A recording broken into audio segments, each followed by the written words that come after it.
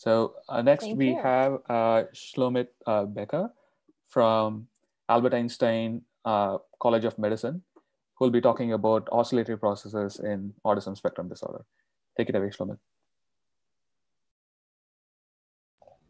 Thank you very much. Uh, so let me just, um,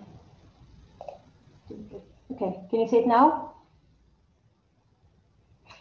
Okay, so thanks for uh, joining this Zoom. And um, I'm Shlomit Beker, and I'm working in the Cognitive uh, Neurophysiology Lab in uh, Albert Einstein College of Medicine in New York. And um, I'm working on uh, predictive processing in autism, and I'd like to show you some data, but um, moreover, I would like us to discuss uh, predictive processing in the broader sense of um, cognitive or neurodevelopmental disorders and uh, how we can measure it in the brain. So um, I'll start with showing you the data and then the discussion. so information in the Just to environment. interrupt you quickly, uh, are you sharing? We are Oh. able to see the entire screen of your. It's okay. on the. Oh, sorry. I mean, you can just uh, like. Just I have I have two screens. Okay, yeah, yeah. So I always have a problem with it. Let me just uh, reshare. Yeah. Yeah, thanks for letting me know.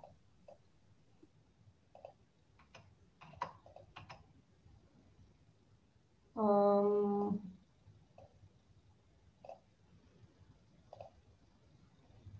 sorry, just a second.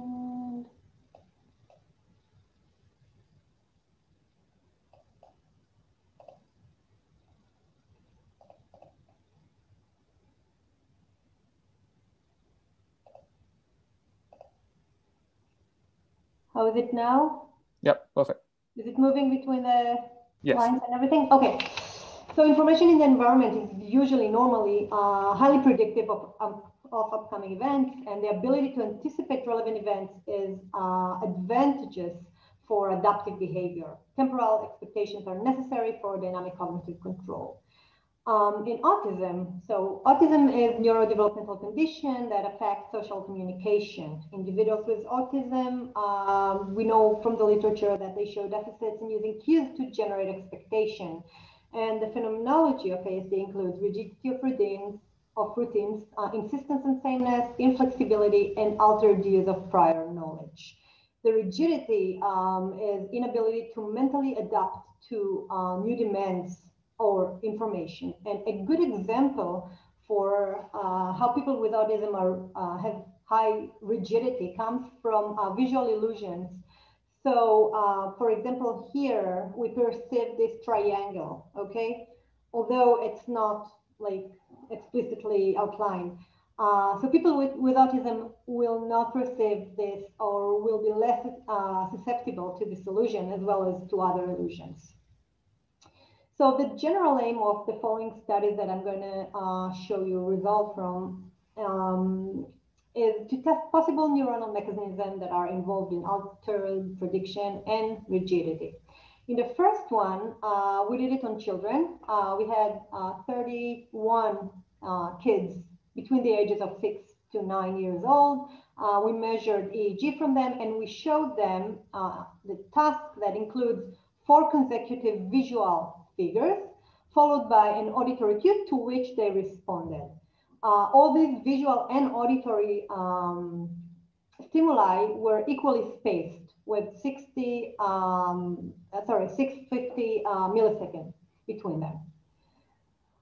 So uh, while there was no difference in the uh, evoked sensory response, not in the visual and not in the auditory, uh, between the typically developed and the uh, ASD kids and the autism kids, there was a significant difference in the anticipatory activity. So if you can see here, there is a nicely gradated pattern that uh, starts from the first, second, third, and fourth.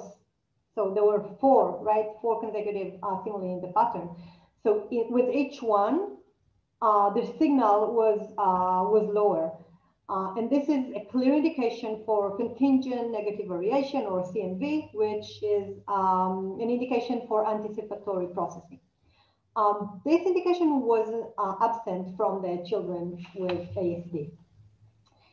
Then uh, we wanted to know how entrained they are or how entrained their um, low, their uh, slow oscillations are to this rhythm of presentation. So we just pass filter those signal as you can see here. So black is the TD and the pink is the ASD. And we can see here that the ASD are not as aligned to the rhythm of the uh, stimuli as the TDs. We can see it also here in phase concentration. So kids with autism do not track normally these uh, stimuli.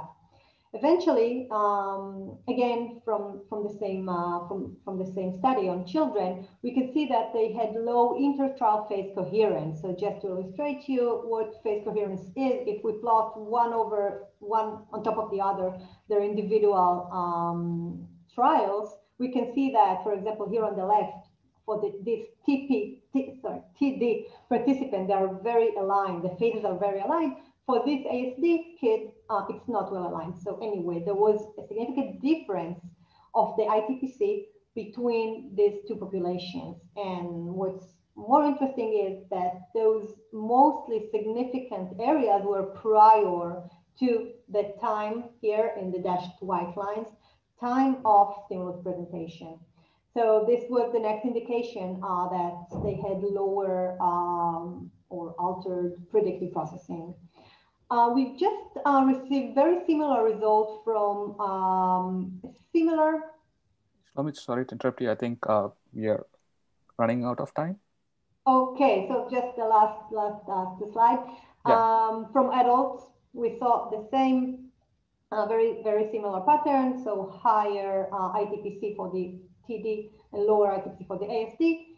And just one very small thing that we find very uh, compelling is that in a jitter paradigm, so that the times of the stimuli is not fixed, it is jitter in a small window, we see that while the TDs in black have a tendency to follow this rhythm, even though it is jitter, those um, ASD people do not. So we interpret it as they, they are more rigid. Um, I'll skip this. I'll and I'll get to this. Um, the point of discussion is, for me, I mean, unless you have other questions, is, is impaired prediction, flexibility, a unique feature of autism, and how specific are impaired oscillatory activity um, in general or for autism. So, yeah. Thank you for the excellent talk. Um, we are waiting for questions from the attendees. And uh, in the meantime, so I'm going to ask you the same question as I asked uh, Hager. Like, how difficult is it to get these recordings from these, uh, like in this particular population? Because we have tried, uh, uh, we we thought of doing EEG experiments in my previous lab. I mean, it was not me, but a colleague of mine. But mm-hmm. we ended up doing sleep recordings because that's the best possible oh. way we can get. So yeah, and EEG, as you know, I mean, it has its own set of artifacts that's related to movement and other things. So yeah, so definitely cleaning and uh, cleaning the data is a major step, especially from kids and especially from kids with autism, which are you know not always uh, stay still. Um, but I can tell you, so first, yeah, it takes a lot of cleaning and also we just had to uh, discard some of the participants for noisy data. What's very interesting, and this comes from another set of data that uh, we're now working on, they're very, very consistent in their uh, pattern of activity. So EEG is very, very consistent even across time. So once you overcome this noise, this external noise, um, we find that the results are pretty strong and uh, pretty reliable. Wow. Hydra, why don't you just unmute yourself and ask the question? You touched on this, but this is something I've been interested in. In neuroimaging, there are a lot of different ways that we assess quality of scans. Um, and I wonder for EEG, like, is there any uh, quality control procedure to ensure that um, certain recordings are useful, or are they just kind of discarded if they have any bit of noise? Um, so let me just repeat your question to, and to say that I understood it correctly. You're asking if we have any way to control that the EEG, so that, for example, they, they were looking at the screen and stuff like that?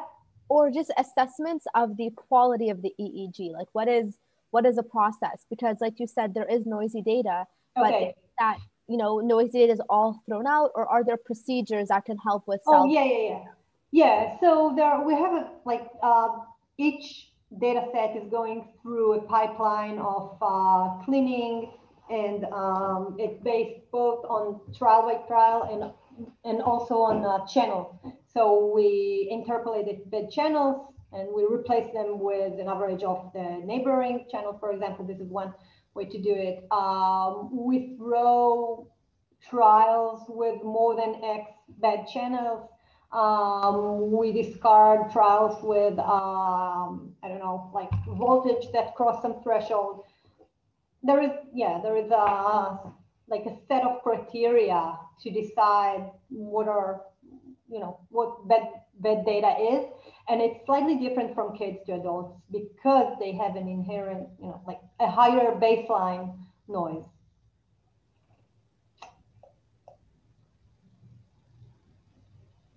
there's one question in the chat box yeah so uh, we have a question from emma who who doesn't want to come on screen, that's fine. Um, hi, Shlomit, thanks for your talk. Um, she says, uh, we know from other tasks, tasks that uh, kids with autism can and do make predictions.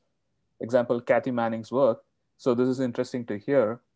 I'm curious if you integrate the hierarchical nature of predictive processing into any of the tasks to look at, and not only look at uh, simple predictions, but prediction errors and precision weighting. I'm reading, I'm reading the question, just a second. Errors and precision weighting. Not yet. that's, the simple uh, answer. Um, so I, I can just say that predictive processing might not be the perfect title or name for this kind of project of, of this project that I showed you. I think that uh, the, most sorry more appropriate name would be uh, predictive timing because we're not dealing with content of predictions. We're deal which is some other projects that are being uh, done in our lab. But I'm mostly interested in whether they can predict the timing of events. So uh, there are like different models and different paradigms that we do to, to measure this predicting timing, predictive timing. So uh, there's one more question asking about, um, in addition to ITC, have you looked at phase synchronization between the presented stimuli and EEG response, like people do in auditory research? I wonder if something like this is possible for visual stimuli.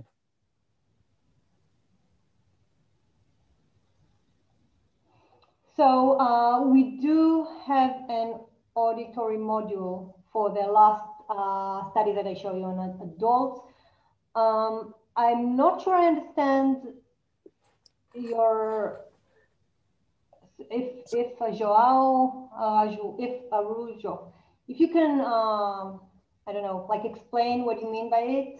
Do you want so to come on screen? I just show you phase concentration in this data and also ITPC, but um, maybe you can explain what you mean.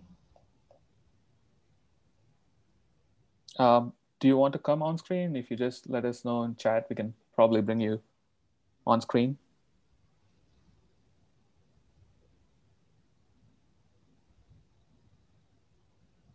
Oh, he's just writing it down. Okay.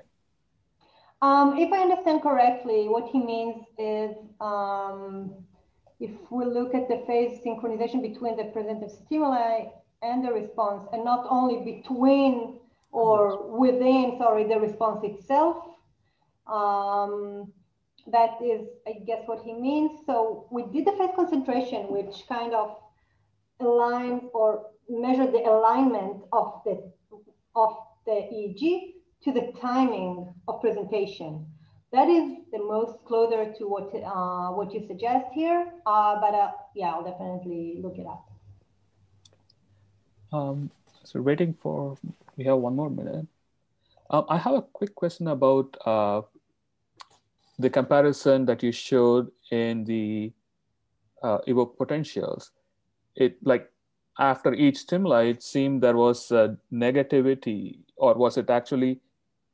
It started high and started going down, right? So the you're talking about this. Yes, this one, yeah. Yeah.